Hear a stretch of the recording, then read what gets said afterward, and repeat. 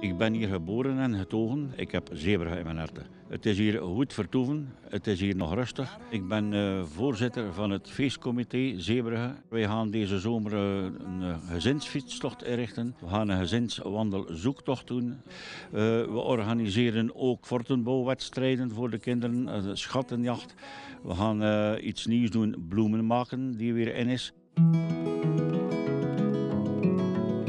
We kunnen hier in Zeebrugge uiteraard fietsen, maar ook wandelen. We hebben uh, de erfgoedwandeling, die ongeveer 5,8 kilometer is, die alle facetten van de haven laat zien op de uitkijktoren en aan het Vesterskruis.